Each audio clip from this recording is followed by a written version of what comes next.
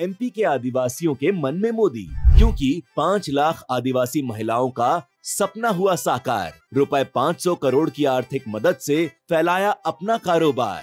20 वर्षों में विकास अपार, फिर इस बार भाजपा सरकार। संकल्प लेने के लिए सात शून्य शून्य शून्य, दो तीन शून्य, दो तीन शून्य आरोप मिस्ड कॉल करें। चुनाव में मतदाताओं को लुभाने के लिए कई राजनीतिक दल चोरी, छुपे, शराब बांटते हैं।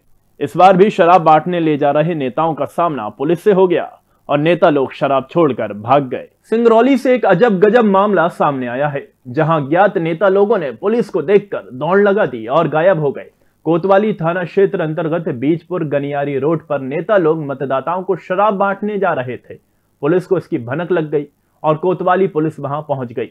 पुलिस को देखते ही ये नेता शराब छोड़कर भागते नज़र आए।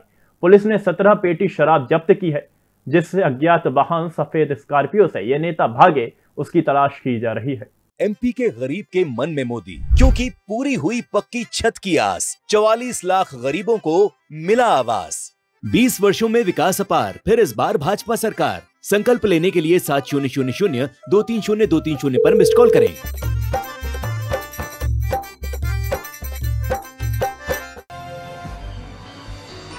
आप देख रहे हैं दखल न्यूज़।